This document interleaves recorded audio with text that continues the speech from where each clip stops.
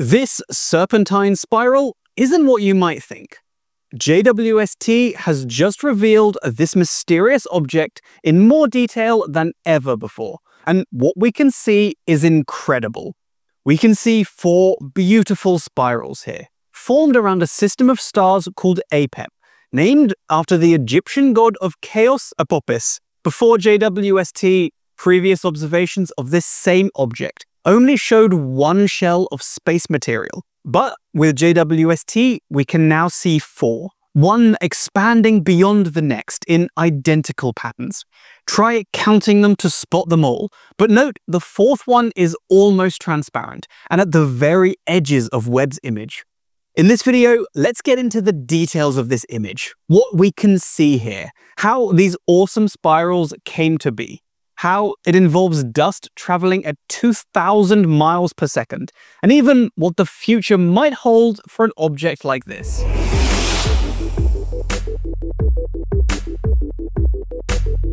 These shells that we're looking at here have been emitted over the last 700 years. At the center are two aging stars of a special classification. They're called Wolf-Rayet stars, these are very hot, luminous, and rare stars. We only think about a thousand of these stars exist in the Milky Way galaxy, which contains hundreds of billions of stars in total. We know of only a few hundred binary pairs of stars that contain a Wolf-Rayet star, and this is the only example we know of in which the orbiting stars are both WR stars. These stellar objects have lost all of their outer layers of hydrogen, leaving behind hot cores. They show high-speed stellar winds, and the known Wolf-Rayet stars have surface temperatures between 20,000 and 210,000 Kelvin. JWST has imaged this type of star before, including this supernova remnant and this fascinating system surrounded by many, many rings of dust. But this new one we're seeing here certainly has a unique look to it.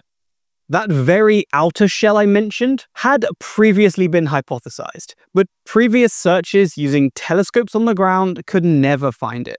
Thanks to Webb's huge mirror and sensitive infrared instruments though, it's now been revealed for the very first time.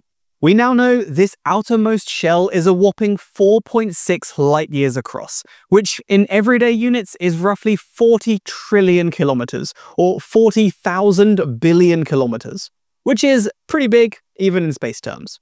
This brand new image I'm showing you is a mid-infrared image. It's made of light that our eyes can't see, but JWST can show us. It's light that's very good at penetrating dusty and gassy regions, like this, and revealing details that would be blocked and hidden to other telescopes, including the old workhorse Hubble. The JWST data here has also been combined with several years of data from VLT, the Very Large Telescope, which is on a mountain in Chile. Doing this also allowed the scientists involved to pinpoint how long it takes the stars of the center to orbit one another, about once every 190 years. This in itself is amazing because it's much, much longer than other binary Wolf-Rayet systems that we know of. Orbits that involve a Wolf-Rayet star typically happen in about 10 to 30 years. Another reason this system is so remarkable, during each of these long orbits, the two stars spend about 25 years close together, and it's during this time that they produce a lot of dust and material that's thrown off the stars, and as it's ejected from the stars, we have the repeating shells forming. This is similar to how the ringed star got its structure in that other Wolf-Rayet system we previously saw from JWST, but on a much longer timescale. Those stars spend months close together, and these two spend years.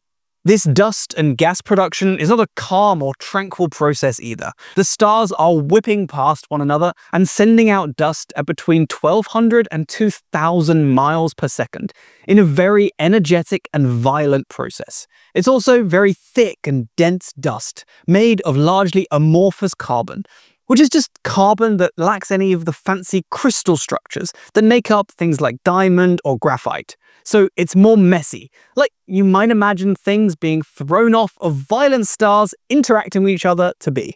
This carbon dust tends to retain higher temperatures than other space dust, even as it coasts further from the star, meaning the dust is easier to see in the mid-infrared wavelengths that Webb can detect with its MIRI instrument. And this helps explain why JWST sees so much more here than previous images did. I do say higher temperatures, but it's still very cold and faint out there in space, meaning we really do need something like JWST to get this kind of detail in the images. Something else amazing that JWST helped confirm is that there is actually a third star in the center of the object too. So while I've been talking about two stars orbiting each other, with their strong stellar winds mixing and colliding for a quarter of a century at a time, producing these dusty shells, that's really a picture we already had before Webb. While that is all still true, Webb's data allowed us to update the models and simulations to really confirm this extra complexity in the system. We've kind of known about this third star since VLT observed the system and the innermost shell in 2018, but JWST led to updates in the geometric model that now give us a smoking gun that the third star is in fact gravitationally bound to the other. How did we know about this third star all along? Great question. The dust ejected by the two Wolf-Rayet stars is being sort of slashed or sliced by the third star. This massive supergiant star carves holes in each expanding cloud of dust and material from its wider orbit of the other two stars. Unfortunately, JWST just shows these three stars as a single bright point of light in the image, at the center of it all. Even Webb can't resolve the individual stars. They're just too small from its point of view. If you're having trouble spotting the holes that I'm saying this third star carved in the shells, you can trace a V-shape from the bright central region to 10 o'clock and 2 o'clock. Or if you just want to see it nice and easily, you can use this nice annotated version of the image. That makes it a lot easier to spot this carved out hole. Alongside the image from JWST, we also got to see a super cool simulation based on the data, but combined with the updated models to show what the four dust shells look like in 3D. As we've discussed, APEP is made up of two Wolf-Rayet stars orbiting each other, together with a third supergiant star. For 25 years, during every 190-year orbit, the winds from the two stars combine, producing and sending new waves of amorphous carbon dust out into space.